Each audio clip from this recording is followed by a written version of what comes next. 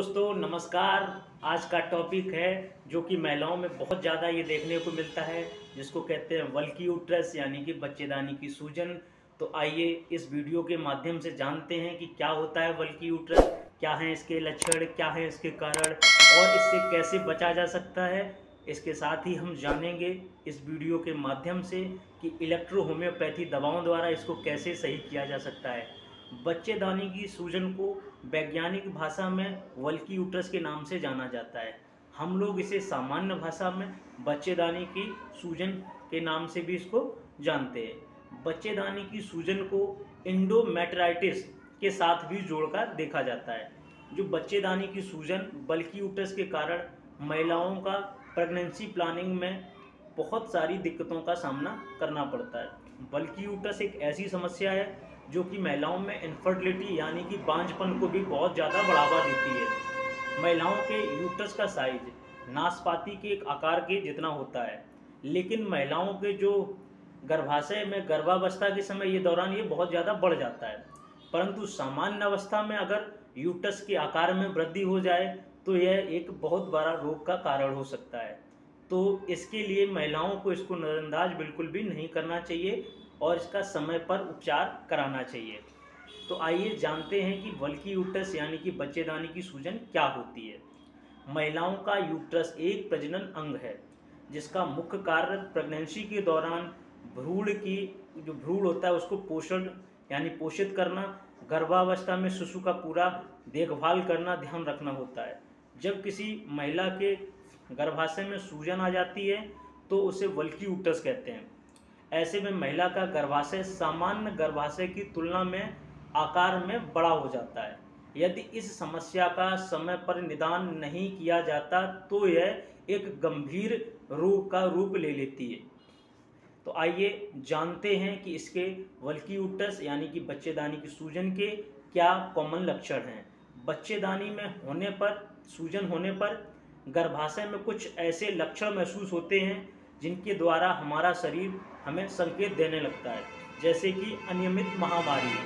अर्थात समय पर पीरियड का ना आना। इसमें क्या होता है कि पीरियड्स कभी आगे, कभी बाद में आने लगते हैं। पेल्विक एरिया में सूजन और ऐंठन यानी पेट के जो निचली हिस्सा जो निचला हिस्सा होता है, उसमें दर्द और ऐंठन और सूजन होने लगती है। पैरों एवं पिडलियों में भी साथ साथ में दर्द की समस्या देखने को मिलती है।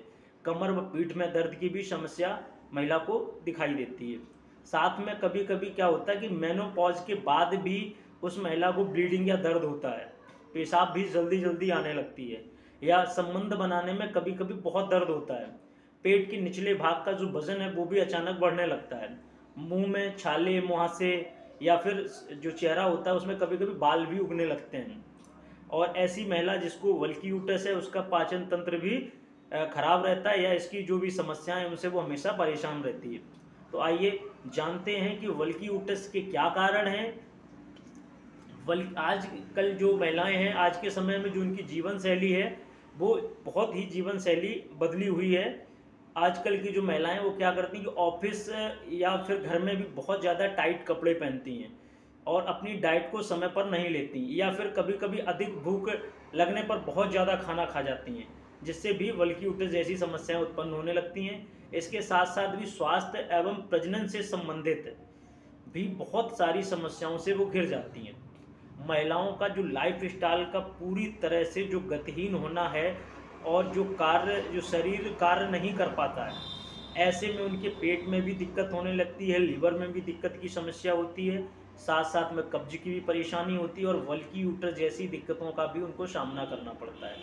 और इनफर्टिलिटी यानी कि बांझपन जैसी भी खतरनाक समस्याओं से उनको अवगत होना पड़ता है।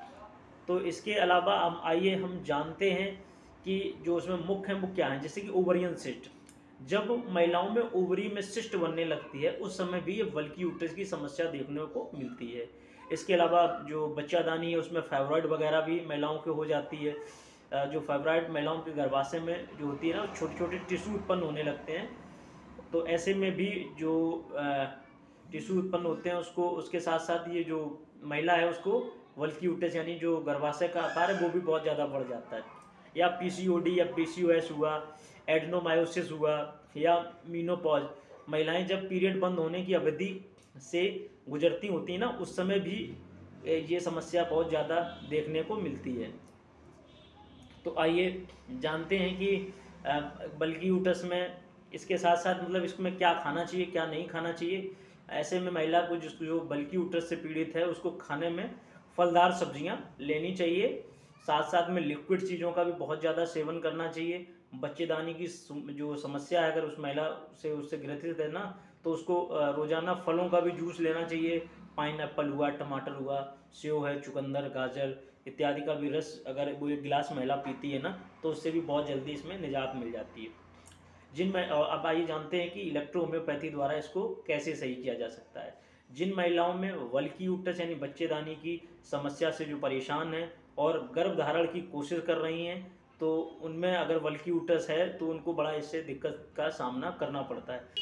तो आइए जानते हैं कि बच्चेदानी की सूजन यानी वल्की उटस का क्या इलाज है। जिन महिलाओं को वल्की उटस यानी बच्चेदानी की सूजन की समस्या से जो परेशान हैं और गर्भ धारण की कोशिश कर रही हैं और उनको सफलता नहीं मिल रही है तो मैं उनको सलाह दूँगा कि वो अपना इलाज इलेक्ट्रो होम्योपैथी द्वारा कराएँ। उनको बहुत ही जल्दी इससे निजात मिलेगी। इलेक्ट्रोमी पद्धति से यूट्रस और इनफर्टिलिटी से संबंधित सभी समस्याओं का बहुत ही अच्छा उपचार है। इलेक्ट्रो होम्योपैथी उपचार से बच्चेदानी की सूजन कम करने में बहुत ज़्यादा मदद मिलती है। और जो इलेक्ट्रो होम्योपैथी है पूरी पूरी तरह नेचुरल है इसका कोई भी साइड इफ़ेक्ट नहीं है। और इसके उपचार के द्वारा किसी भी प्रकार की कोई भी सर्जरी की ज़रूरत नहीं पड़ती है। इलेक्ट्रो होम्योपैथी का जो हॉट कंप्रेस है, इससे भी गर्भाशय से संबंधित सभी प्रकार के रोगों को दूर किया जा सकता है। इलेक्ट्रो होम्योपैथी की कुछ ही दवाओं, जैसे कि S two C two L one when one G E आदि दवाएँ, साथ में कुछ पेटेंट, सिरप भी हैं, जैसे कि गायनी प्लस, गायनी केयर वगैरह, इनके प्रयोग करने से कुछ ही महीनों में इस समस्या से निजात पाई जा सकती है। अगर आप भी चाहते हैं, आप भी अगर इस किसी प्रकार की मर्ज से पीड़ित हैं तो आप भी संपर्क कर सकते हैं साक्षी इलेक्ट्रो होम्योपैथी क्लिनिक पर या आकर भी यहाँ पे मिल सकते हैं और अपना इलाज करा सकते हैं।